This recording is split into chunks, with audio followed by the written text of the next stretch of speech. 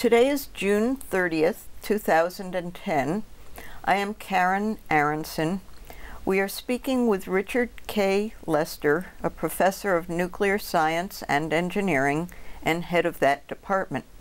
He is also the director of the MIT Industrial Performance Center, an MIT-wide research unit based in the School of Engineering.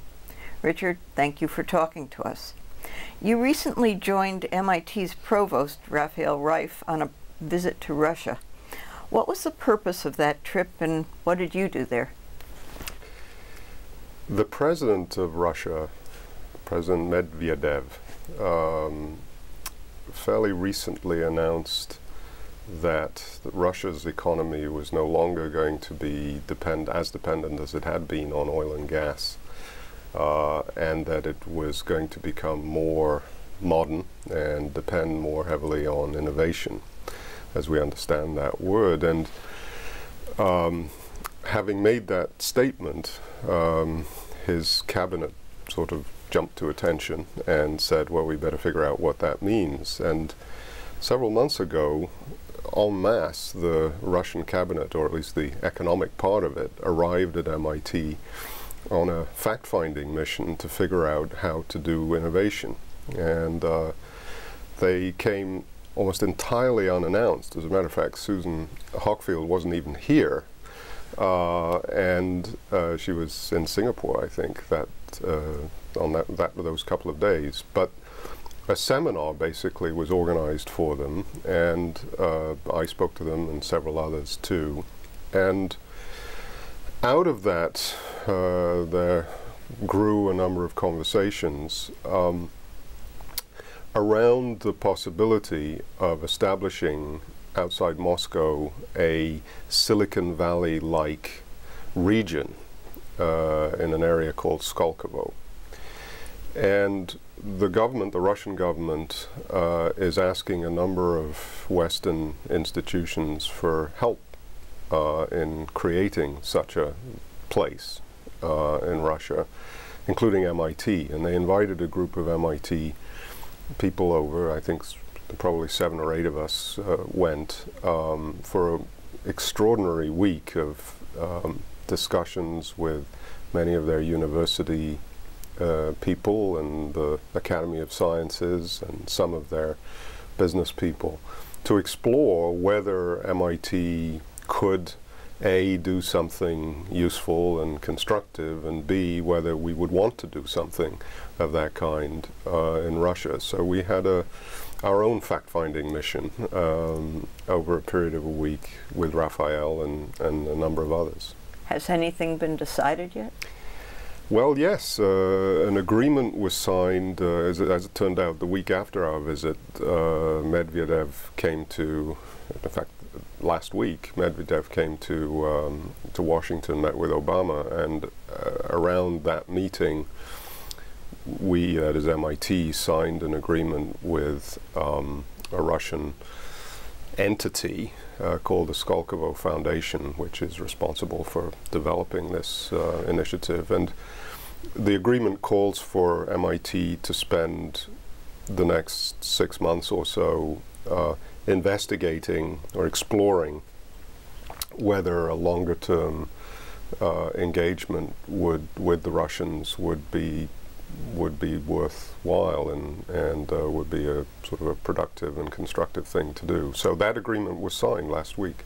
Do you really think one could grow a place like that? Uh, we used to have new towns in, in America. They were we kind of architectural phenomena. We did have new towns, and actually the Russians have made something of a practice of this in, in, in Soviet times. They created um, science cities of various kinds dotted around. In fact, we visited one while we were in Russia, in Novosibirsk, um, uh, in Siberia. And um, there's a, an adjacent town called Akademy Gorod or something of that kind, which is a science city. So they actually, they've done that before. And whether it's an appropriate thing to do in a global economy in which, you know, what really matters more than anything else is your connections with the rest of the of the world, um, you know, how that will work is, a, I think, one of the big questions that we will want to think about, and I'm sure they will need to think about as they as they consider this. If it's doable there, uh, if they've done it, why are they coming to the U.S. for, for help? Well, what they've done, it's a very different, I mean, what they've done in the past is a science city, and these science cities were literally isolated from the rest of the country. Um, I don't know that you could easily get in and out of them even um, for security reasons. But what they, I think, do understand is that to create an innovation region or sort of a it, it, it can't be like that at all. It has to be open and and um, and for that reason, they identified a location just outside Moscow, um, which traffic permitting, and one of the things we discovered was the horrendous, horrendous traffic jams in Moscow and Petersburg. But um, the idea is to make it accessible to Western innovators, Western companies, Western venture capitalists, um, and to make it something that is integrated with the global economy. And of course, that's something they've never done before. How long do you think it would take to do it? And do you think it's truly feasible? What are the ingredients? You know, people, of course, around the world, countries and, and cities and regions around the world are all looking for the sort of magic source of Silicon Valley and to some extent here in the the Boston area, and a number of them have tried to do it. Um, I don't think anyone has really pulled off a um, a created location. Uh, these things tend to emerge organically. Um, the closest, actually, that I, I, think we might come to something like that is the Hsinchu uh, Science Park in in Taiwan, where I visited 20, actually 30 years ago as a young assistant professor because they have a university there. National Tsinghua University in Taiwan. And at that point, there was nothing there, but they were beginning to create uh, the beginnings of an industrial park around the university. And now, 30, less than 30 years later, it is an astonishing uh, an astonishingly transformed location with with both Taiwanese companies and also many Western companies having located initially manufacturing but subsequently research and development uh, laboratories. And so that's actually one example, I would say, uh, maybe there are others, but one that I know a little bit of a place that has been created. But most efforts to do that haven't really worked out terribly well so far where the Russians are starting from is so far back that even a partially successful initiative would probably make a significant difference to the Russian economy if mm -hmm. you know if it's organized well and if its links to the rest of Russia are well designed. I mean, there's certainly economies that one can point to over the last 20, 30 years, uh, South Korea or Singapore, that have taken off along technological lines, I think. Indeed. And I think those examples, Israel is another one uh, that the Russians are looking at and thinking, well, can we, can we emulate? Uh, but of course, an entirely different scale, and and the scale is really uh, I mean, the geographical scale in Russia is just extraordinary. Although they're trying to concentrate it, and they're trying to concentrate it. I think for the re the, you know there is a view they they have the view that if they start in a physically concentrated in a particular location, maybe it can diffuse outwards into the rest of the economy. Does a research university need to be at the heart of it? They, that part of the that's equation? part of the plan, and that's one of the things that MIT if we were to go forward with them, uh, would be would be working with them on. And of course, the question there is, do you bring existing universities into the location, and of course they have many, some of them quite strong, or do you try to create something from scratch, which might also have advantages given the somewhat encrusted nature of the Soviet research system. I should say the Russian research system, but it did look a little Soviet from time to time you know, during our visit. And if you had to put a, a price tag, order of magnitude on something like this? In terms of the uh, total cost to the Russians of doing something like yeah. this, oh, I would think tens, hundreds of billions of dollars.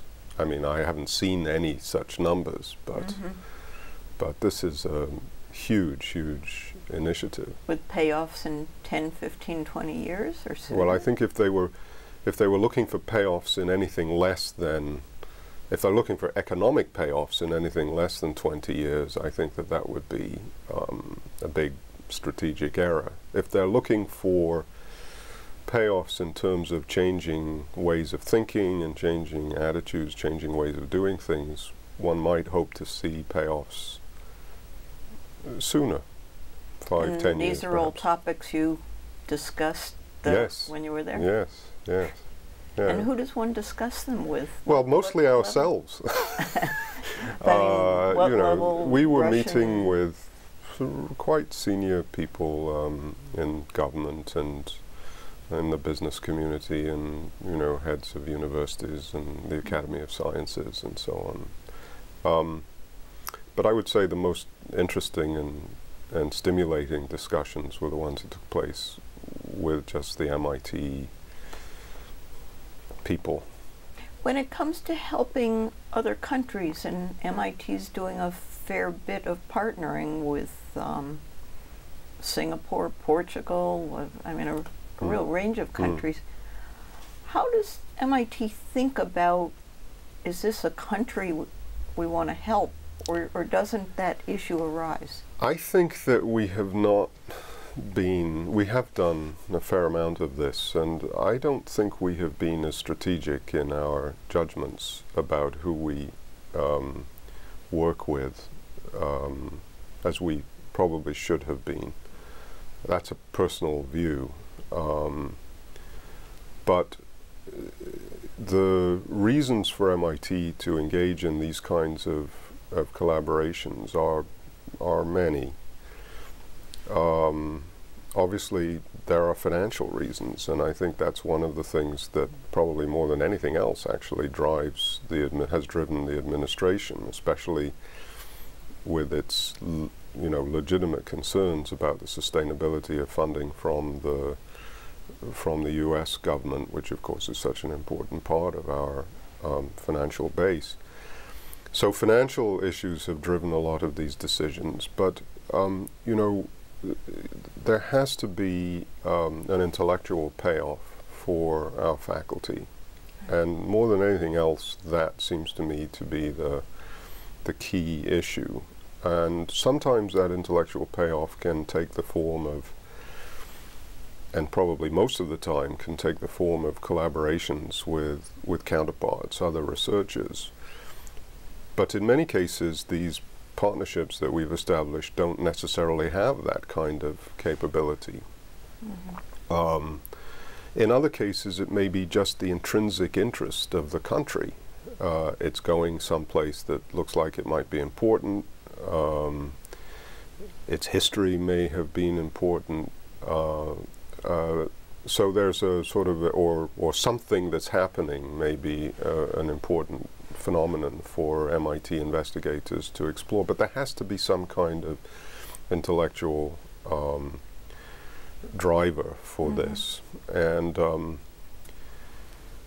I think in the case of Russia, th actually there is, um, uh, in the sense that despite 20 years of the harshest deprivation when it comes to funding of the Soviet, uh, the Russian, I keep saying Soviet, but the Russian science and, and engineering uh, structure, there's still really quite remarkable pockets of, of strength. Um, and so I could see, perhaps more than in any other case, well, the British, I mean, maybe there's another example there, but I could certainly see opportunities for um, real uh, symmetric flows of knowledge and insight between investigators in some fields, investigators in Russia and, and here in the U.S. at MIT specifically. You started out as a nuclear engineer, and you're currently chair of the Nuclear Science and Engineering Department. But much of your research and writing is about innovation and productivity. Um, topics traditionally found in business schools, economics departments, public policy programs. How much science and engineering do you still do? Well, it depends how you define engineering. Um, in uh, in the sort of conventional, narrow sense of engineering, I'm probably not doing very much and haven't done for a long time. But if one thinks about engineering as being basically about the application of, of technology and figuring out how to make technology produce things of value, services of value, I would say that I'm still in some ways engaged in engineering because a lot of what I'm doing has to do with the obstacles to applying technology in the world and how to overcome those obstacles and how to also educate people, our own students, to think about how to do that and solve those kinds of problems. So in that sense, I'd say I'm still doing engineering in, in, a little bit. What what drew you to nuclear engineering initially? Well, I grew up in in in the UK, and um, like many of us probably uh, in this room, I, I'm a child of the Cold War, and I was, as I was growing up, I was always, not always, but thinking like probably many many people did at that time about the the the, the potential for harm that nuclear technology could um, uh, had and how this might be controlled and uh, that was always a, an issue for me. And even while I was an undergraduate, and even actually before I was an undergraduate, um, that was an issue and an interesting problem for me uh, to think about. And you couldn't, in those days in the UK, actually study nuclear technology as an undergraduate. There wasn't really an opportunity. But, um, and there wasn't either really a graduate school, which is sort of why I came to uh, to MIT to study nuclear engineering. So you knew as an undergraduate that you were interested, and you tried to study things that were related, even if it wasn't called a department of nuclear. Whatever. Yes, and actually, I managed to find a way while I was an undergraduate. Um, uh, we had little projects that we did in our third year in those days in the UK. Engineering was only a three-year program, and I did a little experiment irradiating um, a little little potassium iodide uh, um, tablet. So I, I started a little bit there, but I always knew, even at that time, that that the I had a reason for for wanting to study nuclear engineering, and it wasn't necessarily to be the best nuclear engineer. It was that that seemed to me because my background was science and math and and uh, engineering, that seemed to me to be the best avenue to going to where I really wanted to go, which was to think about problems of control of this very, um, very important, very powerful, and also very dangerous, potentially very dangerous technology. But you didn't follow a political science or public policy no, armaments discussions. And I, I didn't even really know that such a possibility existed. Uh, I don't think, certainly not as an undergraduate. And um, you know, I, I, it was an incremental move in that direction. I knew engineering or a little bit about engineering, so I thought, well, let's keep going on this path. And that's why, you know, when I came to MIT, I came into the nuclear engineering department. But when I got here, I discovered this extraordinary I mean, really extraordinary range of other related activities um, on the campus, and it was just a an eye opener. And, and I got a little bit involved uh, as much as I could, given the heavy demands of the curriculum in nuclear engineering. I couldn't spend too much time, but I learned about courses in political science, courses at Harvard. While you were still while I was still a graduate, a graduate student. student. Yeah, yeah. what kinds of other courses, related courses or unrelated courses, there were take? there was in political science. There was a wonderful arms control course that used to be taught by George Rathjens and, and Jack Ruina, which I remember taking At MIT. and at MIT and at Harvard. Um, there were wonderful science policy courses that were taught by Harvey Brooks, who actually became my thesis reader. Um, a marvelous, marvelous man who really taught me a great deal about how to think about science and technology policy. It sounds like, as a child, to the extent you were thinking of control issues, they were more about preventing bombs um, rather than nuclear waste, which may be where you sort of headed next. Yes, and I, I, I that's true. Um, but when I got to MIT, um, I quickly uh, learned that uh, the professor in the department of nuclear engineering, who was sort of closest to the sorts of issues I was interested in, was a man called David Rose.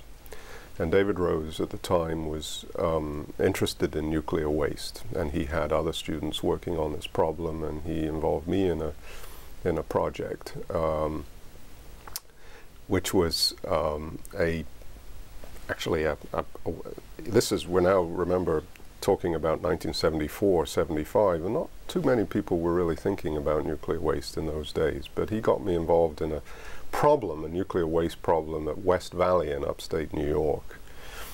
And uh, that became my first publication. Uh, I wrote a, an article, uh, I think it was my first publication. I wrote an article for Technology Review, and it was the cover story on Technology Review, and it had bright red letters and against a white background. I can't remember exactly what it said, but it was something about nuclear waste. And and that sort of started me off down that road. Um, and then I continued to do work uh, in the nuclear waste area, although that wasn't actually this topic of my doctoral dissertation. Uh, I stayed involved in nuclear waste for quite some time.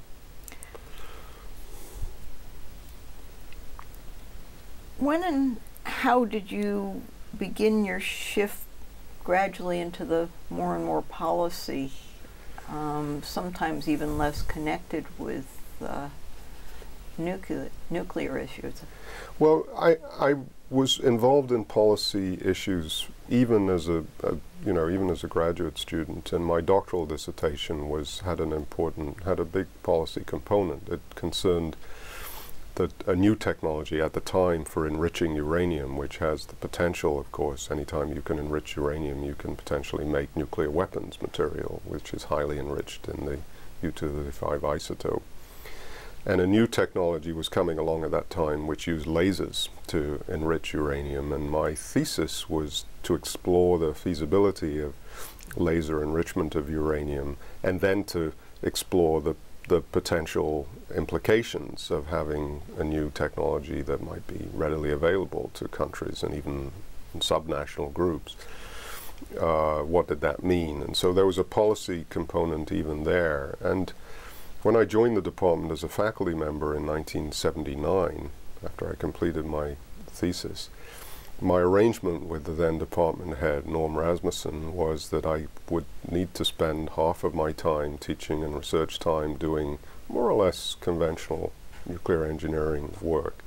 But the other half I could work on the things that really were driving me, and they were they were policy related. The, initially, nuclear waste and other nuclear fuel cycle issues, but over time, I became interested in the question of why was it, and remember this was in the sort of early 1980s, after a few few years after Three Mile Island.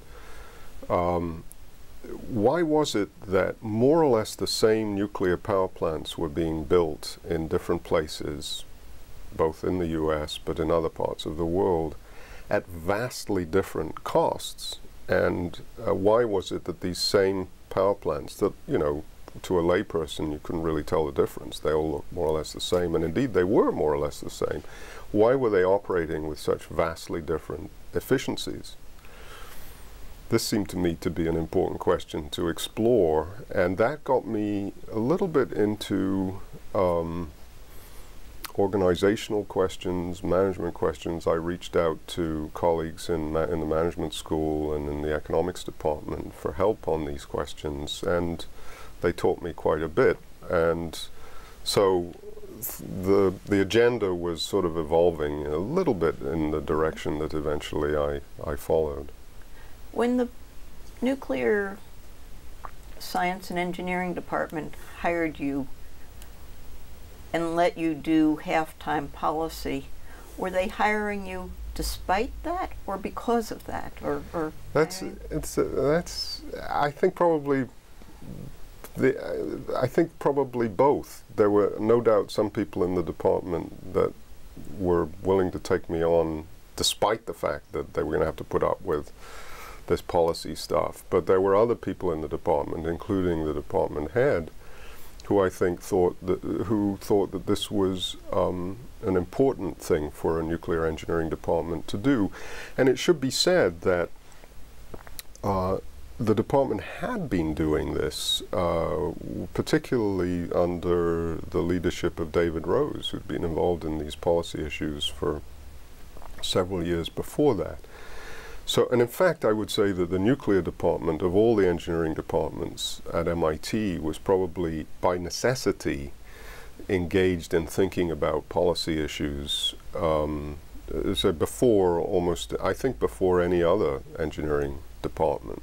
So there was an there was an orientation there, and I think when they hired me, they, you know, they kind of knew that I could do nuclear engineering, uh, so that it wasn't in that sense a huge risk.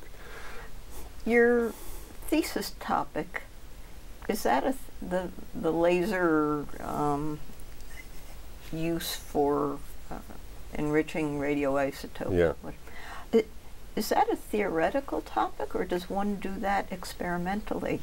Well, I didn't. Um, it was a, my contribution was to analyze the different processes that, that could be that could use lasers and it, but you, know, weren't analyzing but I wasn't them by trying them this version and no. that version in a lab no, somewhere. there were. I mean, these are big.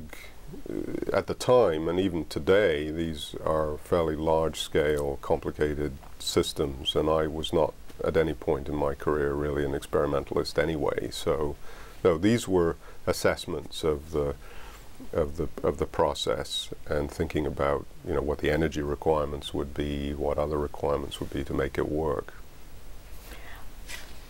So you were an assistant professor, and um, I guess were promoted to associate professor without tenure, which is the normal step. And yeah. then in 1986, you were chosen as executive director of the MIT Commission on Industrial Productivity.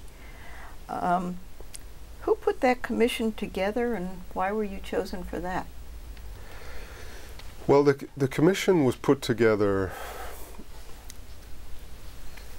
Actually, it was uh, Paul Gray and John Deutsch, the then president and provost, who I think certainly they made the decision to put it together and, and may also have been responsible for the even for the idea, although I think after the fact there were many others who claimed that they had been responsible for, for um, proposing this.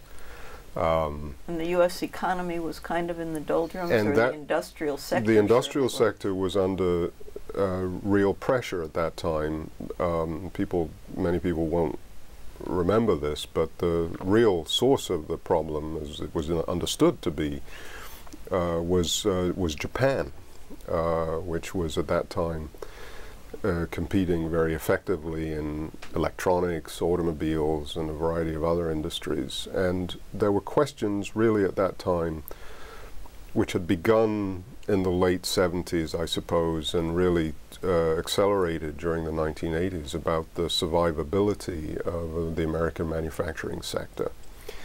And Paul and John uh, felt that this was a subject that MIT might be able to uh, shed some light on. What were the reasons for the for the problems, um, and what could be done about them?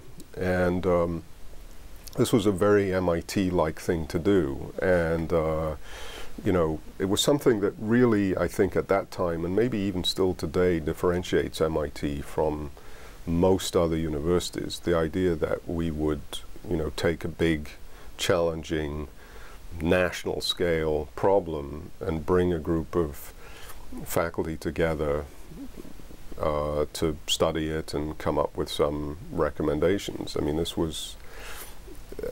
Uh, I remember after the study was done, the study became known as the Made in America study because that was the title of the book that we published. Um, the, the then president of Caltech, I remember talking to him, and and and you know he, there's always a little bit of rivalry, as you know, and uh, and uh, he said, uh, you know, I think that Caltech is every bit as good as MIT and better in some ways. But I have to say, there's one thing that I don't think we could ever have contemplated doing, and that was the Made in America project. And it was uh, really, uh, you know, I don't think unique in MIT's history because I think if you go back far enough that you'll find other efforts that had somewhat of this this character. But this was a this was a pretty unusual thing to do, and John and, and Paul really, I think, deserve a lot of credit for pulling it together. And do you have any clue about how or why you got pulled in as executive director? You know, I maybe they were looking for a, a victim or something. I don't know. I think I, I knew John I, and Paul to a lesser degree, and actually had had had I think I'd written a paper with John at some point earlier in the in the decade, and uh, they probably saw me as someone who, uh, first of all, probably you know had a lot of energy and and um, you know uh, also had a history even at that point of working with colleagues in the social sciences and, and management sciences. And this was fundamentally uh, a meeting, one might even say a collision of the engineers and the, and the social scientists at MIT uh, around this topic of, ind of, industrial productivity. And so it needed somebody who had, uh, you know, some degree of ambidextrous, you know, characteristics, and I, that, so that may have had enough, that may have been something to do with, with, with it. Do you know if you had tenure at that point, and, and were you concerned that it might divert you from research and publishing and interfere with your career and your promotion prospects in, in the field you had chosen? I don't actually think that I did have tenure at that point. I was probably coming close to it. Um,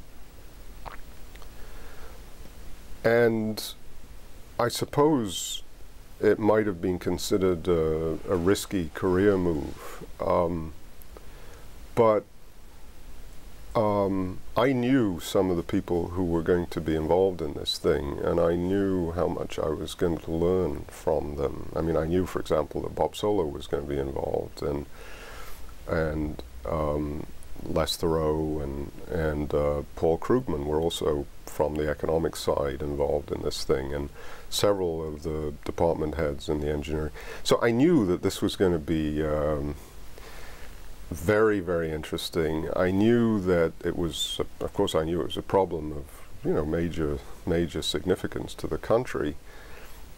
And it just seemed like a pretty exciting thing to do. And one piece of advice that I got, and it was one of the best pieces of advice I ever had from anybody at MIT, and it was from Jerry Wilson when I when I was first hired as a young assistant professor. And Jerry said, you know, and I think he probably said this to every assistant professor. He said, you know, you, have to do what you really want to do, because you know it's pretty hard to get ahead here, and unless you really are enjoying something, you're probably not going to succeed. So choose the things that really fire you up and that you know that was great advice, and it was in this case advice that I that I followed.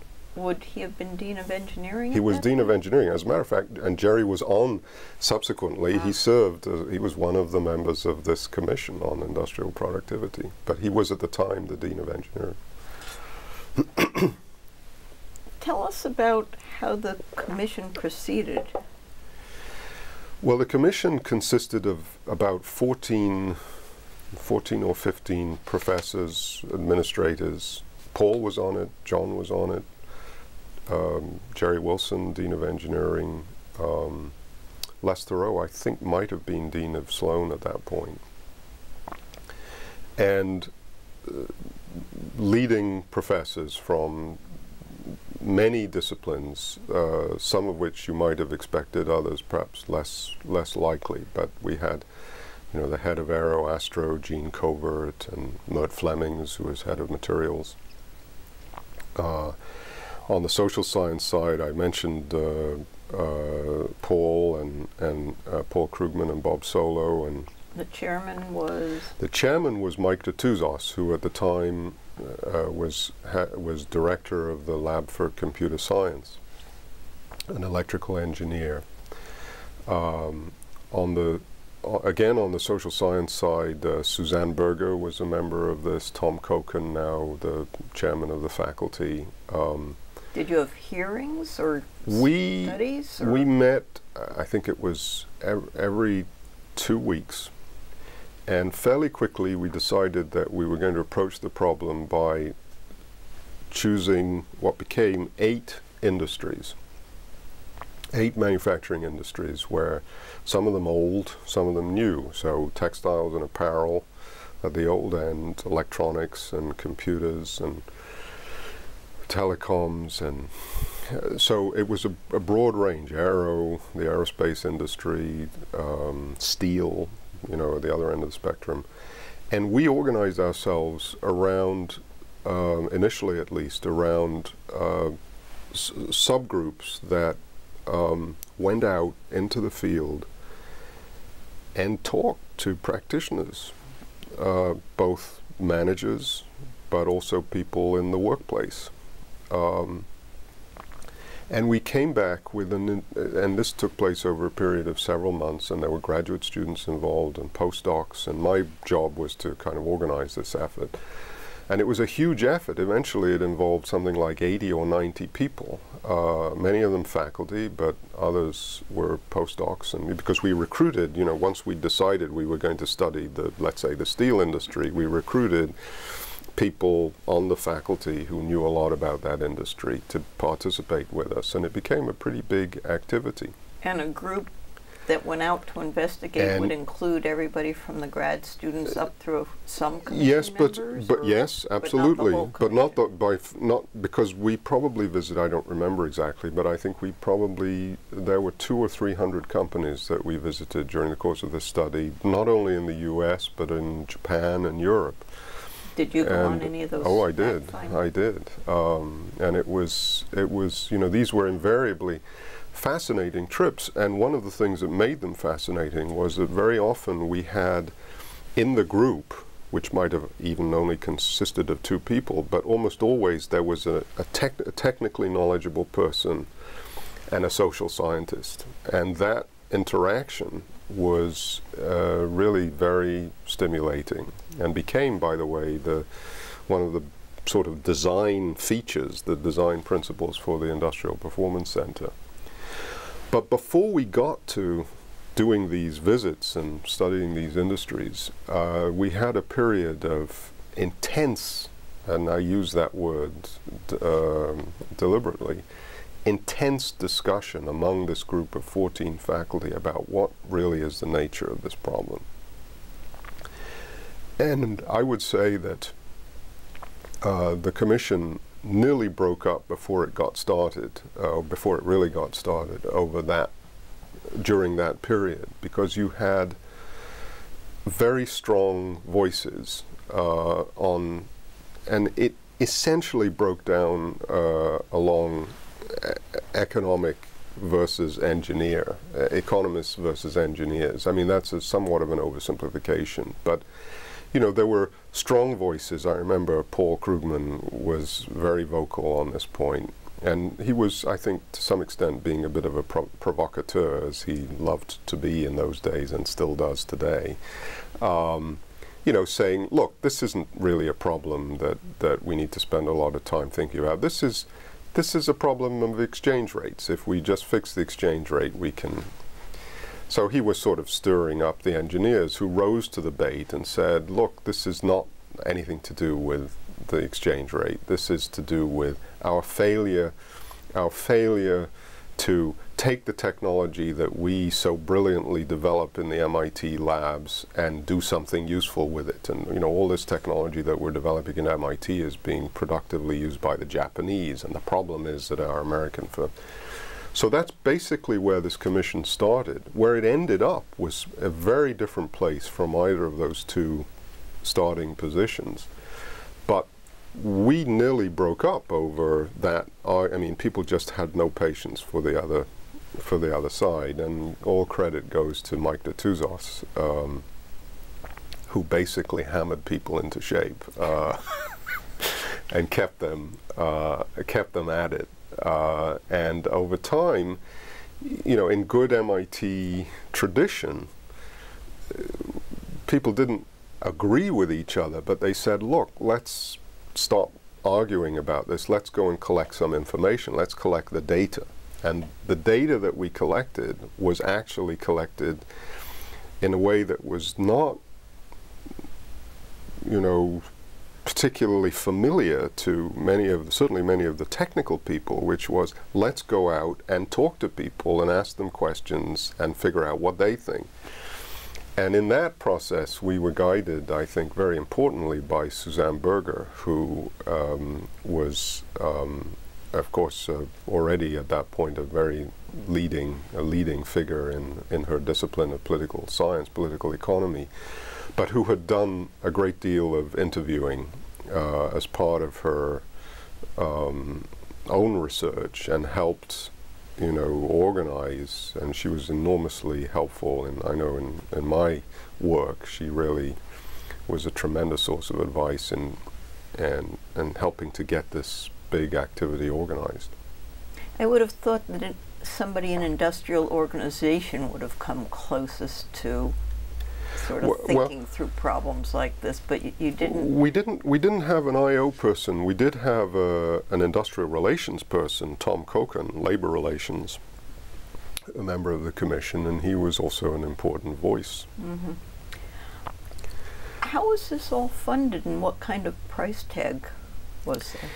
It was funded, and this was, I think, a very sound decision. Uh, we only used foundation funding. There was no government funding and no industry funding. And we were fortunate to receive funding from the Sloan Foundation and the Hewlett Foundation. The price tag I'm not going to remember exactly, but I think it was on the order of a million dollars, uh, maybe a little, little more than that. And um, uh, I, you know, I think the fact that we didn't rely on government or industry funding, it, it, probably wouldn't have affected the outcome in terms of the intellectual outcome. But I, I think that we, it gave us um, a kind of a, it, it, it, it, it created a, a an environment for this study, which I think was very important. You know, at the time, there were there were many, I mean, we heard them. We, we actually solicited the views in industry that said, um, you know, this the problem here is lazy American workers, and uh, you know, we heard that a lot from from American, you know, leaders of American industry.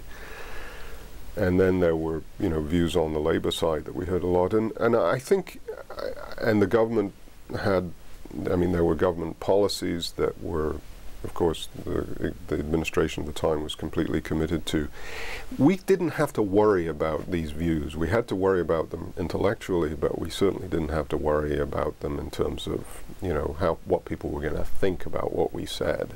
And that was, I think, a very wise, wise it's decision. It's interesting how different the structure sounds like it was from another study that was going on almost simultaneously, I think, the, the one on the auto industry, um, which was funded by industry and maybe by governments, and even though they held individual contributions to no more than 5% so that nobody could put pressure on them, um, it it was a very different approach. It was a different Although approach. in the end, that too was a study of an industry and productivity and. Uh, and it, and in fact, there were there were uh, connections between uh, between the two studies. On my staff were postdocs and graduate students who were also contributing to the automobile Right. study, and we derived uh, some of our uh, we we used some of the research from the automobile study, which was one of the eight industries that we were concerned with. But I think that we avoided some of the difficulties that that study had to deal with. along with Bob Solow and, and the late Michael De- Dertouzos, you were a named co-author of the book that grew out of the commission's work, the, the Made in America, Regaining the Productive Edge. How much impact do you think the book had? Did it change American industry or Yeah, economy in any way? it's or- very difficult to answer a question. I mean, how much it, uh, how much impact does any book have? Um, it's a it's a hard question to answer. I do think that it had a much bigger impact than any of us when we were writing it expected. Um, it became, um, and I think may even still be today, the best-selling book in the history of MIT Press. Uh, but it had other impacts, and I, I think that um, you know there was an there was a lot of interest at that time in what this group had found, and one of the contributions that I think it made was to change the the direction of the of the debate. Uh, it, it changed a little bit the way people thought about this problem. Um, from what from- to what? I, I think you know a big, an, an important view, a sort of a predominant view when when we got into this was you know this was the Japanese unfair competition, you know, uh, currency manipulation. We not, not unfamiliar today, but now we talk about China. Um, that you know they were unfair in how they competed. They were taking our intellectual property, et cetera, et cetera. That was the, I'd say, the almost the prevailing view when we got started. When we were finished, and what we said was, this is really, um, this is an issue that we are, we here in the U.S. have responsibility for. The, the problems, we have a lot of problems that have to do with one of the things we said was underinvestment in research, but that was sort of what any university group of university professors would, would be expected to say. But I think more than that, and more importantly, we talked about problems in the way work was being organized on the factory floor, and problems uh, of um, uh, walls being erected, organizational walls being erected between, you know, research and development, production, marketing, and so on. We saw very rigid structures in American firms, which we weren't seeing in their competitors. And I think in the and we also were seeing problems uh, importantly at that time, and even of course even more importantly today, with uh, the educational capabilities, the educational qualifications, the knowledge in the workforce. So what we did, I think, was to change the a little bit the direction of the public policy debate, and also, and this turned out to be maybe even more uh, significant. I think there was a real impact on management in in American uh, corporations. I think that they thought about their problems in a somewhat different way. Uh, and, you know, the, I remember Les Thurow at the beginning of the study saying everybody was given the opportunity when we first sat down in, in one of the conference rooms to sort of tell us what they thought the problem was. And Les Thurow said, you know, the, the, I remember he said that this is death by a thousand cuts. But by the end of the study, we didn't think that. We th- thought that there were six or seven key problems that we had to address as a society. and I think that was a contribution that we we took a very very what seemed to be and was a very very complicated mm-hmm. problem and boiled it down to a few key issues, and I think that helped people.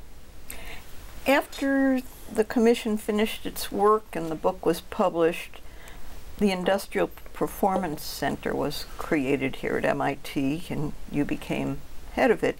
What was involved in the decision to set it up, and what did it take to get off the ground? And uh, did you have any reservations about continuing to follow this path and to stay with it? Well, on, on the last point, no. I mean, I, I had spent two years of my life really, you know, immersing myself in this problem and realized at the end of it that I just, you know, there was a lot more to learn and it was fascinating and um, there was this wonderful group of faculty that had really been living with each other more or less for a, a, a period of, of, a year or two and many of them wanted to continue uh, with this work. Not full time but uh, in most cases but uh, you know as part of their intellectual uh, agenda. And so for me, you know, the opportunity was, I mean, it just seemed like the right thing to do, um, to, to continue. And, uh, you know, the, how we would do, how we would organize was also fairly clear in the sense that, you know, the, the style of work we had, we had begun in, in the commission, which was, you know, very interdisciplinary, involving people from different departments, committed in every case to field research, direct observation of particular industries and practices in particular industries. That was, you know, we'd started that in the commission, and that seemed to be a good a good uh, template for continuing research agenda. The questions there were many questions that Made in America raised but didn't answer, so we even had a you know an intellectual agenda. So it was it was a natural thing to do, and for me, it was a natural thing to do because Jerry Wilson's advice: do what you're interested in. Uh, setting it up was not trivial because the commission had had. I mean, it was always seen as a one-time event. You know, when it was done, it was done, and uh, but this was now to be a an ongoing research activity. And the provost at the time um, a wise man, uh, Mark Wrighton, who's now, as you know, uh, president of WashU, um, uh, made a very important decision and said, "Look, we're we're going to let's do this. I'm going to put it in my office for the time being until it until it." Um, develops momentum and then at some point I'm probably not going to want it anymore but for the time being uh, it can report to me and uh, we were able to get funding, a large amount of funding actually, uh, um, from the Alfred P. Sloan Foundation to get us going. Um, and so the organizational uh, home in the provost office and the funding that came from the Sloan Foundation were what was needed to um, uh, to get to get the thing going. Did you think about changing departments at that point or having the Dean of Engineering uh, as an advocate was sufficient to keep you in nuclear? Well, you know, the, the department, I have to say, and um, the, my department, uh, nuclear, now science and engineering, just engineering as it then was, uh, had sort of tolerated my um, wayward uh, uh, activities for quite some time. Um, and very generously, you know, they, I talked to, you know, obviously talked to the department head and said, I'd really like to do this. What do you think? And, and, um, and he said, fine, you know, we'd like you to keep teaching in the, in the department. And I said, of course, um, and um, have continued to play a, a role even over this period where I was mainly involved with the IPC, um, they were generous in mm-hmm. saying, if that's what you want to do, do it. And so I felt that I didn't really feel that I needed a different uh, a departmental base because my department was uh, comfortable with it, even though, you know, the benefits were really only very peripheral to mm -hmm. them, uh, to those colleagues.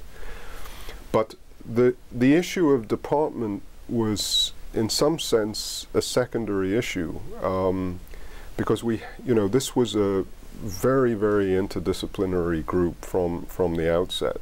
Um, I mean, some of the key players, Suzanne Berger, continued to be involved. Uh, Tom Kochan also. New people joined the group. Uh, Mike Piore from uh, economics uh, became very involved in the center. He hadn't been a member of the commission, although his research with Chuck Sabel had been a very important influence on the commission. Um, from the uh, electrical engineering department. Uh, actually, Rafael became involved uh, at some point, Charlie Sodini. So there were new people, but there was this network of, of, of alumni of the commission who had been. Uh, uh, who had worked together, really knew each other very well, and provided, in some sense, the the core faculty for the IPC. Innovation is a major focus of your center. Why? I think we have to go back to when when the center was formed and really the agenda that we inherited from the Productivity Commission, which was a lot about manufacturing and production and uh, efficiency and productivity of, of the production process. But it was becoming already pretty clear at that point, and we're talking about the early 1990s, that the competitiveness of American industry was going to depend on more than its performance in its factories, uh, and increasingly was going to be determined by its effectiveness in the development and introduction of new products and services, in other words, innovation. And one of the things that struck me at the time was that a lot of the business chatter about innovation was really uh, rather it was it was already cliched before I mean it was it, it, it, it was almost born as a cliche you know you had to listen to the voice of the customer. You had to um, cooperate and break down walls and and integration was important across um, across functions and there were all of these prescriptions that people, you know, banded around, but but it seemed that many of these things were actually very hard to do. And to figure out why they were so hard to do really looked like an important um, research project, which became actually more than just a project. It became a, um, a sort of a program. And at that point, um, um, Mike Piore uh, was starting to get involved in the work of the center, and he and I began a collaboration. This was probably, I don't know, around 92, 93, um, which was focused on this problem. Actually, uh, initially it was focused on the problem of integration in business organizations and why that was such a hard thing for them to do. Integration across functions, across boundaries, and so on. But uh, we started a program of research, or we, we, and you know, in this style that we had inherited from the commission, we identified some firms that were doing interesting things that seemed to have integration issues. So, um, medical devices, where the integration problem was clinicians versus science and how to overcome that barrier, a series of other. And um, it became clear that as we talk to these people about the problems of integration, that integration was very much um, a part of the innovation task. That is, as we talk to people about, you know, why integration was so hard, we increasingly were drawn into discussions of how they were developing and introducing new products. And um, that what we learned from those uh, interactions uh, became the sort of the basis for um, a long-term investigation into how businesses actually innovate. Um, and th- that led to a, a, book, it led to a whole series of other projects, um, and it really has infused that that work that began in the mid 1990s has infused a lot of what the center has done ever since. Do you think innovation is something that can be taught or cultivated or learned? I, I guess that's at the heart of, of what you're talking about with Russia, for example, maybe, and other well, I think I think that there are um, certainly techniques and practices um, that can be taught and learned. Um, but one of the parts of the process that we were most interested in and remain most interested in is the part that doesn't really lend itself to techniques and practices, and in particular, it's the part that has to do with the the the, the, the creative part. And what we discovered in our research um, was, and it's not surprising, that that's the part that people don't really have the ability to talk about very well. They can't even really articulate what what's going on at that stage of the process. And so you you know you have things like um, you know people talk about um, brainstorming and and um, you know one of my favorite cliches is you know you, you have to you have to kiss a lot of frogs before you come up with the you find the prince. Um, by the way, when I've used that um, uh, cliche in, in France from time to time, I give talks over there. It doesn't always go down so well. uh, but but what was striking was that people didn't really have a way of talking about. It. I mean, they just had these sort of thing, uh, words that they used to describe it, and and we in our research have really tried to understand what goes on during the creative part of the innovation process, and we came to think that um, there was a whole vocabulary that was missing for to describe this. It, it, you know, people just use these terms which which tended to focus on the individual and you know the creative individual coming up with the with an idea but actually uh, in our studies of companies in industries as diverse as cellular telephones and blue jeans the fashion jeans and automobiles and all sorts of other things. I mean, we, we came to see, first of all, that it's typically not a individual, but it's more a social process that is involved in the development of new ideas for products. And over time, we developed our own vocabulary for um, describing this phase of the, you know, some people call, refer to it as a sort of fuzzy front end of the innovation process. We came to think of this as an interpretive part of the process, as distinct from the analytical part, which is the part that most engineers are much more comfortable talking about. It's problem solving. In fact, many of the people we talked to said, yeah, design is problem solving. It's a, it's a form of problem solving. But our question was always, well, how do you know what problem you're supposed to be solving? Where does the problem come from? And when that question was posed to the practitioners, particularly the engineers, they had great difficulty. They knew that that was an important question, but they didn't have a way of talking about how it happened. And the focus of our research, Mike, Mike Piore and myself spent, you know, a number of years really um, uh, following companies and talking to practitioners and so on. It was to try to develop a, a, a vocabulary and a way of talking about the, you know, what happens when you don't know what the problem is that you're supposed to be solving. And when you think about our curriculum in the engineering school at MIT, we're great at uh, problem solving. I mean, we probably, I mean, that's what engineering really is about.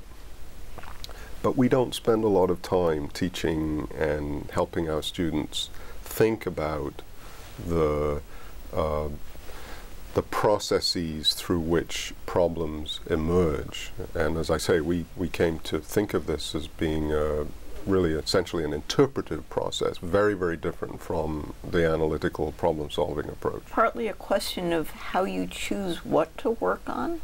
How you choose what to work on. Where do, where do the problems come from? Mm-hmm. And uh, we, we came to think of this as being something that happens often literally, but sometimes metaphorically, uh, um, in in the form of a conversation. You know, when you start a conversation, you don't typically know where it's going to head. This conversation may be a little different. You know exactly where it's going, but um, uh, in many cases, conversations when they start, you really don't know where the conversation is going. But often something interesting happens, and uh, you sort of develop it. And and we came actually to draw on ideas from linguistics um, and the development even of languages mm-hmm. uh, as a helpful way of thinking about what goes on in the in these stages of the innovation process. But as you look at MIT, certainly people here are very good at the analysis.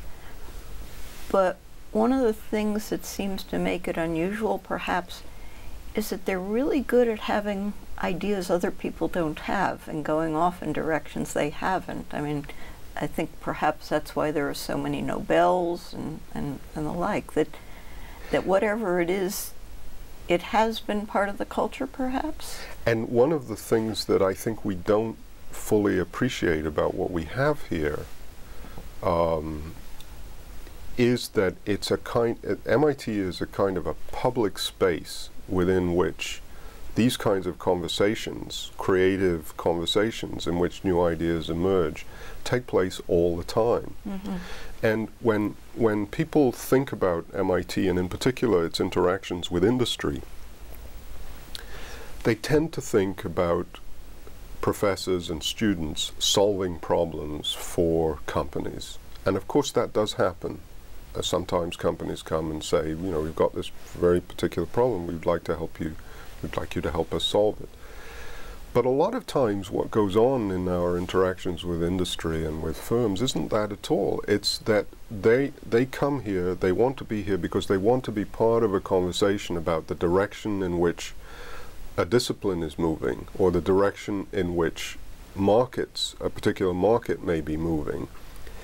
And those conversations are the raw materials, in some sense, from which the problems emerge that eventually get solved, often not by our faculty and students, but by the companies working in their own labs. So you have this dual role that the Institute plays, problem solving for firms, but also serving as a public space within which people come in and out. And that's the other thing about MIT. It's very, very porous you know, and it's porous both within the institution, disciplines, you know, there's constant interactions so between departments, much more so than than most.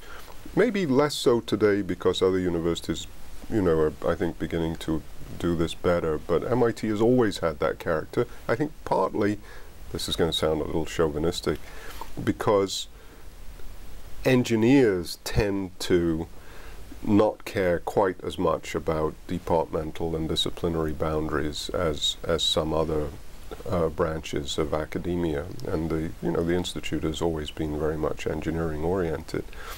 So I think that we you know we serve as a public space within which these conversations, both literal and metaphorical, can take place. And I think that's one of the reasons why we have been such a prolific institution in terms of, of new new ideas and, and the ability for those ideas to find a home somewhere and to be developed and, and exploited. Have you looked at what kinds of labs work as you talk about innovation and ideas that a number of labs run through my mind. Um, something like the Skunk Works, I think, at Xerox. Um, ideas like at the Sloan School, the the uh, hundred hundred thousand they give awards yep. for entrepreneurship and ideas. Yep. Yep. Um, the Amy Smith Design Lab here. Uh, they're very different, and yet all of them seem to have creativity as, as their focus in a, a funny way. They are very different, um, and but I think you know um, one of the things that from a distance they perhaps have in in common. Uh, the skunk works at Xerox is a different. I mean that that's a a very mixed story, as you, as you know. But some of these other things that you mentioned, I think what they may have in common is there's something about the interaction between the designer, the developer, and the user. Woody Flowers in the 207, 270 contest is another one. That's another. That's another example, and I think, you know, th- there's something very difficult for engineers to grapple with here, and I've found that in as I talk about this issue with with my colleagues, because engineers like closed form problems. They like to know what the problem is, what resources do we have to solve it, how long do we have to solve it, who are the experts in the different areas. Let's us divide the problem up into the pieces and ask each expert to to to um, uh, deal with his or her piece, and then somehow the thing gets pulled together. And the quicker you pull it together, the better. And that you know we we know about that. But there's also, and this is going back to this other, there's also this open-ended thing that happens before you even get to the problem that needs to be solved. And I think that some of the things that you talk about at, at MIT that you mention, you can look at them in different ways. You can look at them as being about problem solving, but you can also look at the same activity as being part of some continuing open ended conversation between designers, developers, and users, in which the artifact that comes out, the design, the product, even the company, is a thing that people then talk about in some continuing conversation. Mm-hmm. And so if you look at this thing not just as a, if you look at this extraordinary set of activities that we have at MIT, if you you can look at them as producing things, you know, businesses, products, but you can also think about them as part of some ongoing engagement between MIT and the world. Mhm. And that's really, I think, w- uh, you know, in some sense, the key to understanding the prolific nature of MIT is to think in terms of that ongoing en- engagement between MIT and the world, and the fact that we we've actually come up with a whole variety of different ways of having those engagements. Bob Langer and the Langer Lab is another. But it, it's something about anointing creativity and saying this is really important and good and giving people then uh, the goal perhaps of, of becoming good at it or, or the freedom to feel they can do it or, or something. And To take risks. To, Uh, all of that, but also the signal, the message that engagement with the world is good. uh-huh. And, uh, you know, um, engagement with, with the world of practice uh, in order to figure out what the problems are that need to be solved, that that's good. And we give that signal and we create opportunities f- for that in many, in many, di- in many different ways. Coming back to your own center, would you say there's a new discipline emerging, or is the work you do mostly based on an amalgam of tools from other disciplines and, and a willingness to to use tools from different disciplines? It's, I think, more the latter. Uh, that is, I've never seen the role of our center as being the creation of a new discipline. In fact, the contrary. Um, wh- what I, the, the the metaphor I I've always I, I don't know that I've said this uh, publicly, but the metaphor I've always thought of when I've thought about the work of the center is it's really a kind of a crossroads between different disciplines within MIT and between mostly firms because those are the I mean that's what we work with and on um, at firms and academia. So it's a sort of a crossroads in which people bring their perspectives and discipline and disciplines and methods to bear, but we don't try to capture any of our colleagues in the orbit of the of, of the center. What we hope happens is that people come work with colleagues in different departments from different departments on a problem on a project and then go back uh, probably a little different from what they were like before they got involved but and maybe their work will move in a somewhat different direction than it would have done if they hadn't been involved with us. But that's not about creating a new discipline, that's about enriching um, existing disciplines with perspectives drawn from somewhere else. And I think that's a very important role for centers to play. There is a, in academia always a strong pressure to develop a new discipline, develop a new way of thinking about something, and uh, we all understand why, the, you know, where those pressures come from. But, but I think in this particular case, this particular center, um, that hasn't been the objective. It's simply been to give people a chance to learn from each other, and maybe be changed a little bit as a result. Much of your focus has been on firms, business entities, but you've also looked explicitly, I think, at higher education and universities. How did that happen and why and, and where are you on that? Well, that, that actually is again, uh, you know, it's this, this idea of uh, the, the, center serving as a crossroads.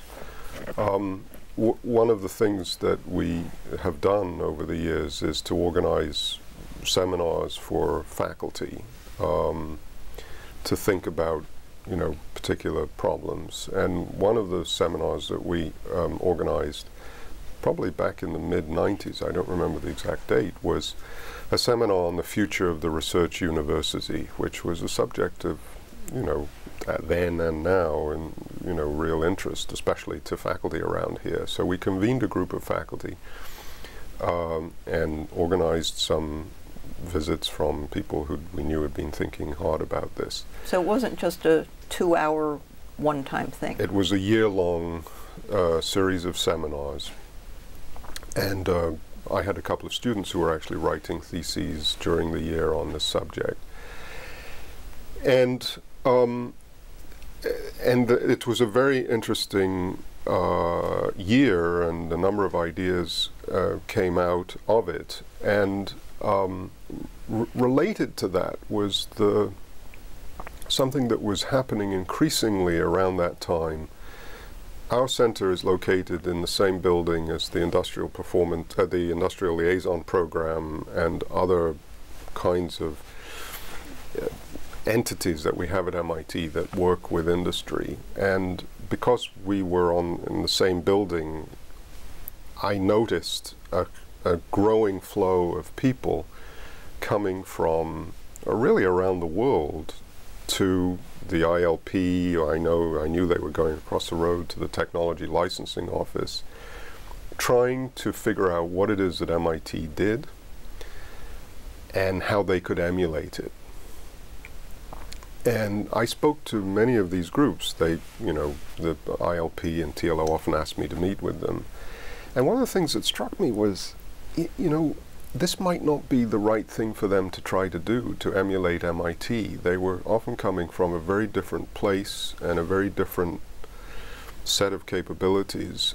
And it wasn't obvious to me that emulating MIT was the right thing for um, every university. They were coming from all over the world. But I also realized that we didn't have a, a we didn't have a framework that that you, you know that might suggest that there are other ways in which universities could contribute to economic development and growth. And of course, every university, not every, but many universities are under pressure to do more and more of that. But doing it in the way that MIT does it isn't necessarily within it's not necessarily the right thing. So we initiated a, a, a research program growing out of that seminar and uh, stimulated by these visits from people around the world to study the different ways in which universities can contribute and are contributing to economic development and innovation in their regions. And we worked in 25 or so different city regions around the world, focusing in particular on this question of well, what are, what are, what are universities in these regions doing? And we deliberately selected places that had first tier universities or second tier universities or third tier universities, different industries driving the economy, and we really learned a great deal about the different ways in which universities contribute, and they don't all look like MIT by any means. And this was how recently, or how long ago? We started this uh, work uh, probably around 2000, 2001 and it continued, has continued for several years, and in some, in a sense, continues even today.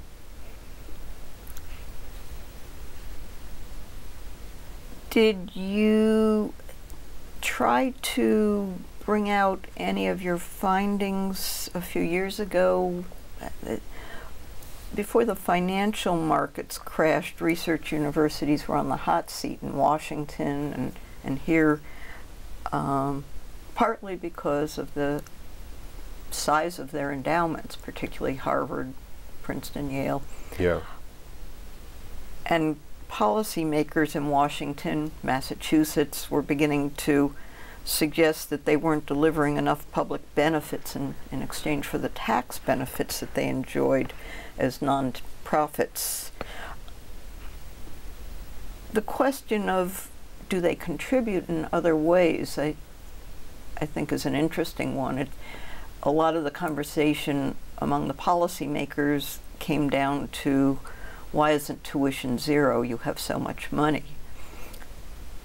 But the question of what do they contribute in the way of innovation or research or yeah. economic uh, bases didn't seem to come up as much. It didn't, but I think there were two separate conversations going on. There was certainly that conversation about the rich universities and why are they benefiting from the tax laws. Yeah. But but for a much longer period prior to that, there had been a separate conversation that wasn't directed at necessarily places like MIT and Princeton, but at, at, at the local university, the state university, why aren't you doing more um, to contribute to economic development?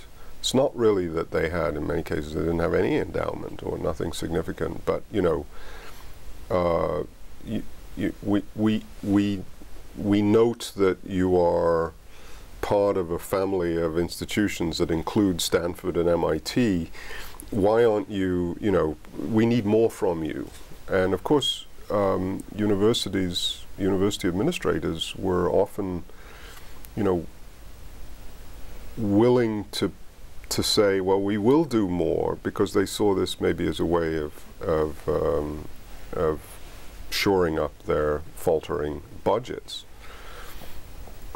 Um, so there was that conversation going on, um, which I think is actually a longer running and probably more important conversation perhaps than the one that was directed at those few rich universities who were being uh, getting ready to be hauled over the coals. I don't know that it ever actually happened because, right. as you say, the financial the crash. Uh, is yeah. MIT doing anything on, on this front that you think is interesting or useful? W in terms of contributing, I mean, MIT does so much. In terms of your model of can they do more? Well, I think what we what what we learned from our studies of this question was that that what everyone thinks MIT is doing, which is discoveries, patenting, licensing, often to startup companies run by faculty or students, and spin-offs that that is an important thing that we do, but it is only one of the things that we do. Uh, and among the most important things, probably in in, uh, in in a larger sense, more important, is education. Um, the technology transfer that happens when people graduate from here and go to work uh, at a company. That may not involve starting a new company, but it's a Mm. very important contribution. Another contribution that we make is, you know, the thing that we were talking about before, serving as a public space for industry and and government people to talk with academics about important technical questions. And what what but what has happened in this debate around the country and increasingly around the world is that policymakers have focused on the thing that is in some sense easiest to identify about MIT and Stanford and easiest to count, which is, you know, how many patents, how many licenses, how many startups. And I think a lot of the other things that MIT does and that other universities are probably no less able to do. Maybe they can't do the startups as well as we can, but they can certainly do some of these other things. And unfortunately, the debate has focused too much on, in my judgment, on the the things that are the most obvious things. And what we have to do is to move this beyond the the spin-off phenomenon, important as it is. I mean, one of the things I like to point out is that we have a half a million new businesses formed a year, every year in the U.S. And the number of businesses that are formed out of university intellectual property for all American universities each year is just a few hundred. So now it's true that many of those businesses, or some of them at least, succeed and get big and they end up like Cisco or Google or something. But but it's a small part of the what the economy is doing. And similarly on patenting, you know, we every year something like 150,000 patents are, are approved by the PTO. Universities collectively in the US account for less than 3,000 of those 150,000. So it's a so if we were to judge the university impact on the economy just by patents and startups, you'd have to conclude that it's a very small piece, but actually it's a much larger piece. But in order to see that, you have to look more broadly at the range of interactions between the universities and, and industry. When you were growing up in the UK, did you have any links to academe? Were your parents in education, or did you ever dream about entering, becoming a professor? My father was a school teacher. He taught um, uh, what we would call here uh, grade school, um, and he. So in that sense, education was very much part of our our family, and my older sister became a, a teacher. Um, but university wasn't something that was part of our family um, sort of history. And um, so it was, you know, I think this is true of many, many families of my, gen- and during my generation, that, you know, I was not the first to go to university. I had one other sister who got there a couple of years before me, but, but we weren't um, connected to higher education. And where did, how did you choose where to go to college? Well, in it, in the British system, you you throw out. Um, you have to, you know, give a few places that you think you might want to go, and it's a clearinghouse scheme. And I ended up at Imperial College in London. Uh, and the subject, and in, in Britain, you actually choose your major before you go, which I think is a very bad idea. And I, I think the U.S. approach is much better. Uh, it's a bad idea because kids just have no idea before they go to university about anything, or most kids, and I was certainly no exception. I chose chemical engineering for my major mainly because it seemed like the the the major that would cut off fewest options um, going. I mean, I don't know why I thought that. I'm not sure that it's any different from any other engineering field. Or how you learned about it? it it's not It- a I- topic that, that well, I kind of like chemistry. I like chemistry, and Oh. I knew I engineering seemed like a good thing to do and practical and and um, and you had that background interest in, in nuclear But- control. but I had no. I mean, there wasn't that wasn't an option in, in the UK. I mean, you couldn't major in nuclear anything at that uh, in the UK. So it was a, you know, almost a random thing, as it so often is. where and how did you decide, oh, I'm going to go to the United States and do my graduate work? Well, it's interesting. I, I, uh, Imperial College is, is is quite like MIT in the sense that it's a college of science and technology. In fact, in those days, it was even more science and technology oriented. But as an undergraduate, you had to have one humanities subject, and uh, I took a, a humanities subject from a man who had previously taught at MIT amazingly. I mean, and so this was a humanity. This was a historian. Do you remember his name? His name was Sinclair Goodlad, and I don't know what his position had been at MIT, but he said to me while I was, you know, as we were talking, as I was taking this course, which I really enjoyed, you know, you really ought to think about going to MIT.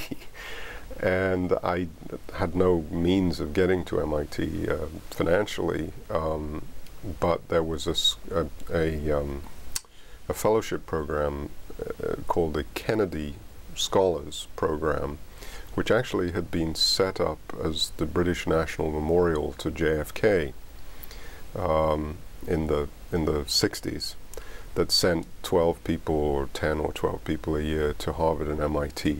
Um, and I think even I think that Goodlad might even have pointed me in that direction. Anyway, I applied for it and and was awarded this scholarship, which enabled me to come to MIT as a graduate student, and that's how I ended up here. And you knew by then that you wanted to focus on nuclear. Nuclear, yes, yeah. What were Yeah. your first impressions of MIT? You got here and thought, what? I mean, I I felt it's hard to remember exactly. um, I mean, I was completely taken aback by the by the range of activities at MIT. I mean, it was you know, kid in a candy store sort of uh, impression. I mean, I was also taken aback by the pace of work, and you know, that was something I had to get used to. Um, but it was really so exciting. I mean, there were so many people doing extraordinary things, and um, it was just incredibly stimulating. That was my overwhelming impression. Do you have any recollection of whether your fellow graduate students shared any of this sense of wonderment and reached out as you did, or whether you were somewhat unusual in that respect? I don't really know the answer to that question. I mean, I've certainly. It's interesting now. I'm department head of that same department I came into. I'm sort of reconnecting with some of these people who I was graduate students, you know, a graduate student with, and of course they've gone in many, many different directions. Um, and I, you know, I, I, I do remember that this was a very sort of internal thing for me at that. I mean, I, I don't remember talking to people about it. It was something that, um, you know, one held sort of internally. And there wasn't a lot of socializing, as I recall it, in those in those uh, in those years. At least I didn't. It wasn't a very social environment. Um, it was all, in some sense, all business, so to speak.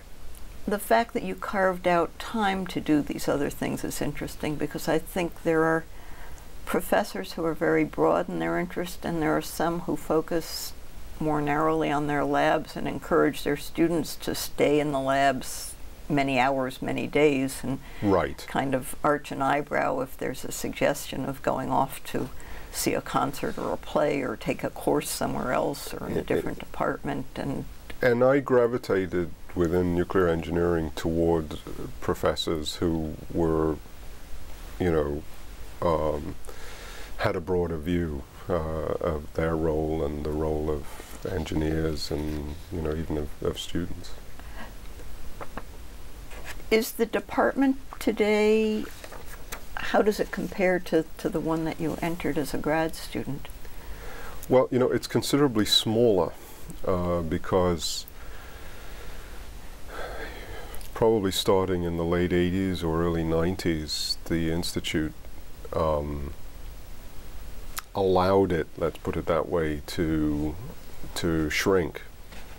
Um, I don't think the department wanted to shrink, but it did. And it shrank in no small part because of what was happening in the nuclear power field for, you know, decades, really. Um, so the department's a smaller place. Um, until very recently, it was an older place because the department wasn't allowed to hire young faculty uh, for much of that period, and the faculty, you know, got got older. Um, that's changed even within the last since. I mean, I became department head last fall, but was chairing the search committee for the previous two years, and we have hired five new um, junior faculty within just the last two years, and it's a that's a I mean it's a it's tremendous. I mean we have a lot of energy now coming from our young young faculty.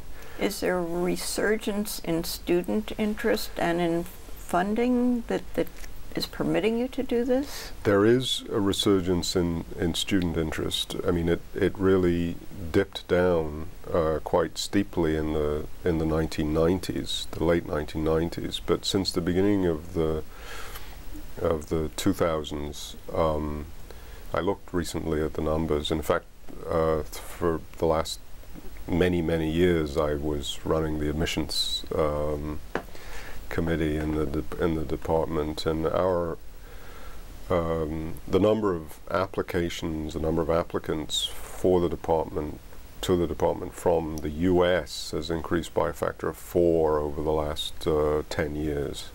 Um, what kind of base? It's a it's starting from a low base, so um, because it really was um, down. I don't remember what the numbers are, but roughly um, order of magnitude. What are we talking? I mean, about? we take we take roughly um, 25 to 30 new graduate students um, a year, something like that. Maybe um, in some of those years it was probably as low as 20. But at this point, um, we're probably seeing about 200 applicants from both domestic and, and foreign sources, overseas sources. But, uh, you know, it, if we take both domestic and international students, I would guess that we were down uh, as low as maybe 70 or 80. Um, so there's been a lot of growth in applicants. But much of the growth, interestingly, has come from domestic, the domestic side. Now, one reason for that, of course, is the changing fortunes of the, or some expectations that the fortunes of the nuclear uh, energy industry um, will improve. But the department is not just about nuclear power, or at least it's not just about nuclear fission. It's um, an, a large section of the department's faculty and students work on nuclear fusion and plasma physics problems related to nuclear fusion. We have uh, one of the biggest um, fusion labs in the country at MIT, uh, the Plasma Science and Fusion Center on Albany Street.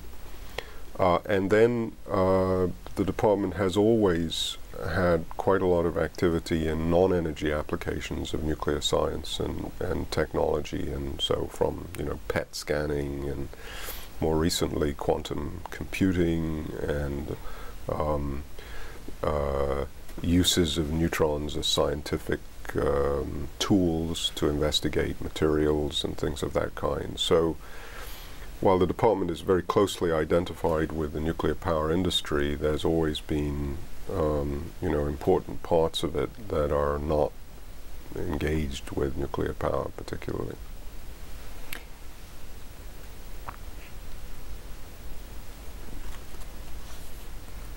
Let's see. Do you have a particular agenda for the department at this point? Does a plan of any kind? One of my first tasks on becoming department head last September was to develop um, a strategy for the department. I felt that it needed one, and in fact, I knew that it needed one because if we were going to be allowed to grow, we had to have a compelling story for uh, why we should grow um, and how we should grow. So for the last several months, um, I've been working with the faculty and working the faculty uh, to get um, a strategic a strategic plan, and um, we we now I think have a uh, a direction, a pretty clear direction for growth um, that is something of a departure from where we have been uh, as a department, but I think uh, is responsive to both the prospect of, of real expansion in nuclear power worldwide, but also responsive to developments in the science and engineering um, of nuclear phenomena that are opening up a whole set of new opportunities that may in the end not have a great deal to do with nuclear power, but that really are no less at the core of our department than than the energy than the energy application. So I think we're uh, looking ahead with some real um, excitement and optimism, um, which is different from what the department has had to be dealing with over the last couple of decades. What do you see as as the prospect for, for the use of nuclear energy and, and power in the U.S. Uh, at this point? Yeah, I think it's I think it's uh, it's an uncertain prospect. Um, globally, uh, there's no doubt that we're going to see um, major growth in nuclear in nuclear power. I mean, we're seeing most spectacularly in China um, uh, rapid increases in, in, in construction of nuclear power plants. It should be said, however, that um, however fast they're moving on the nuclear power front, they're moving much faster, unfortunately, on building coal-fired power plants. Um, but that said, they're uh, moving moving. I mean, I think they have at this point 25 plants under construction, a plan to have 70 or so in operation by the end of this decade. Koreans, Taiwanese, nuclear, plant. nuclear plants. Mm -hmm. So globally, we're going, and there are probably 20 countries that are seriously considering uh, getting into the nuclear uh, power business for the first time. Some of them maybe not the ones that we would necessarily feel entirely comfortable about. Um, but so globally, the picture is one of growth. Um, in the U.S., it's I think still uh, uncertain.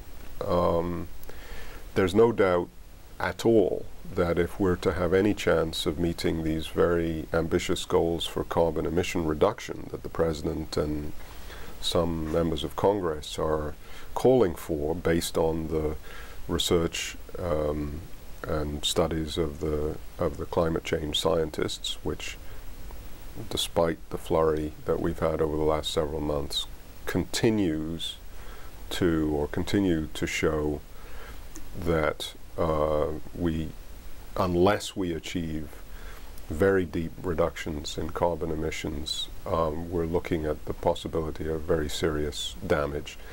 There's no question that if we're to achieve these these goals that the president and the Congress have, are setting, we need a lot more nuclear power in this country. But the conditions that will make it possible are, are not yet there, I would say. And, and so um, whether it happens or not um, is, a, is, a, is, a, is, a, is a question. I hope it does, but I'm Those conditions being the conditions I think the, or the obstacles mainly at this point have to do with um, the the sub very substantial financial risks that um, would face any electric power company that was considering, and there are of course quite a few now that are considering building nuclear plants, but the risks are very very high, and unless we have a way of reducing those risks and enabling them to build plants that don't cost as much and can be built more quickly. I mean, it's all about reducing costs and reducing cycle times. That's the the goal for um, for the nuclear. That should be the goal for the nuclear power industry. In an op-ed article in the Boston Globe just before the presidential elections in 2008, you noted that both candidates for president had expressed support for nuclear power, but that even a major expansion in nuclear power would not reduce our dependence on oil imports for decades. Why would it take so long? Well, uh, when we're talking about oil uh, import reductions, uh, you know, most of the oil that we use is, of course, used in the transportation sector. And the possibilities of displacing um, oil or other fluid fuels with electricity, in, which is the only way really that nuclear power, at least for the foreseeable future, can contribute to reducing consumption in uh, oil imports. Um, uh, you know, that's going to take a long time.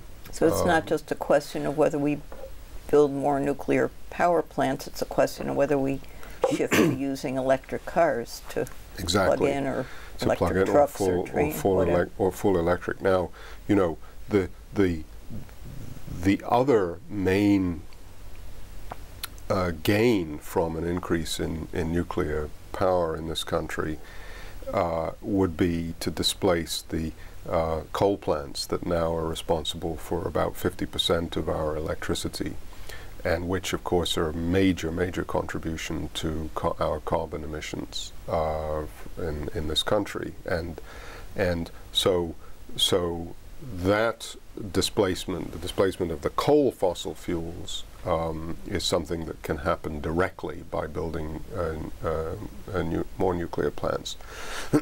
but but over the longer term, uh, if we're going to reduce our oil consumption or oil import dependence, we're going to have to have electrification of the automobile fleet, and that will take time. It all will take time. It all will take time. The problem is we don't have a lot of time because unless we have, unless we've uh, we've decoupled um, the very close link between economic growth uh, and fossil or carbon dioxide emissions that you know has been a characteristic of our economy for a hundred years, unless we've figured out a way to, to decouple those two things by mid-century, it's almost certainly going to be too late in terms of avoiding serious climate damage. You talk about the risks to companies in, in moving in this direction being one of the big obstacles. Risks that come from political shutdowns or, or from plants having problems or what are, Well, what are the real risks? Political risks are certainly an important part of, of the story. Um, uh, but they're not the only risks that companies have to think about. I mean, the political risks specifically have to do with um, the difficulty that the federal government has in handling or managing the nuclear waste uh, issue, which the feds are responsible for and which companies need to have taken care of. And there are political risks uh, associated with, you know, the licensing process and so on. But the fact is, these are multi-billion dollar projects carried out by companies whose assets may be uh, are very, you know, maybe less than the the cost of the of the new uh, whose existing assets may be less than the cost of the new of a new nuclear plant. These plants probably exceed the financial capabilities of the majority of um, electric power companies in the, in the U.S. So we either we can either make these companies bigger, or we can make the plants smaller, and probably we're going to have to do a bit of both in order to overcome this risk problem. You've also noted that the technologies being used for nuclear waste disposal um, are 25 years old, and and that it's time for or long past time, I think you've said, for a broad-based, high-quality scientific and engineering program to develop new approaches. Is that something that MIT or your department could do? And is anybody doing that? I think we can certainly contribute. You know, one of the worst things that the Congress has done, um, and its performance in the area of nuclear waste has been miserable and I don't think that's too strong a word, for decades. But one of the worst things it did was essentially to freeze any innovative thinking in this problem or on this problem uh, back in the 1980s when it um, said not only that Yucca Mountain in Nevada was going to be the uh, the only place we we looked at for disposal of nuclear high level nuclear waste, but it also said the federal government was not to spend any money on any other, uh, the exploration of any other uh, alternative for disposing of nuclear. So for 25 years, we've had no innovation in this area. Now Yucca Mountain has been taken off the table for political reasons. Uh, the government has established a commission um, to explore the future of nuclear power. One of our colleagues, uh, Ernie Moniz, is a member of that commission. It will say something in, in a couple of years. But really, it is time for a serious new um, research, serious research program to explore alternatives. We know so much more today uh, about um, the geoscience of nuclear waste disposal and the geotechnical aspects of nuclear waste disposal than we did 30 years ago when we were making these decisions. And we can contribute in this department, but also other departments at MIT can and, and are collaborating with us on, on these problems. If there are countries like China that are betting in a much bigger way on nuclear power, are they also conducting research in terms of how to deliver it uh, more safely and more efficiently, whatever, how to store nuclear wastes better. In other words, even if the U.S. isn't doing this research, is it happening around the world? It's happening around the world, and, and every country that's generating nuclear waste um, is, is, you know, having to deal with this um, with this issue. Uh, but different countries uh, obviously have different geologic endowments, different population densities, um, different uh, distributions of nuclear power plants. So uh, while there's opportunity for international collaboration in this area, um, I think that we in the U.S. certainly shouldn't and um, and can't rely on other countries to solve to solve this this problem for us. And in fact, it would be frankly embarrassing for the U.S. to uh, to to do that. So we we really need to be at the forefront of, of these activities, and there's really no reason why we, we, we shouldn't be. Do you see any other universities around the world with nuclear engineering departments or even research centers that are doing that kind of research that you think are particularly interesting? You, you know, I think one of the one of the important elements of of our strategy in the Nuclear Science and Engineering Department at MIT uh, is to establish new research collaborations and educational collaborations with universities around the world because um, there are uh, growing capabilities um, in Asia uh, and in also in some countries in Europe that backed out of nuclear power but are now getting more involved in it again as they see the writing on the wall for climate change. And if we're to remain at the forefront of research and education in nuclear science and engineering, we need to be collaborating with the best institutions around the world uh, and also leading firms around the world. So yes, we are. We already have um, a set of collaborations. We need to build new ones, especially I think in China, which is going to come what may be the center of nuclear development, nuclear energy development over the next um, uh, couple of decades. We have relationships with uh, Tsinghua University in Beijing, and we will extend and we will extend them. I mean, we we have a number of students coming every year from from Tsinghua. Some This very very good students, our Mhm. department, Mhm. and um, that's been the case for 15, 20 years, and we need to look for ways to make the uh, flows, as I said earlier, a little bit more symmetrical. Richard, thank you very much for talking with us today. Good luck on that front and others, and uh, this was fun. My pleasure. I enjoyed it a lot.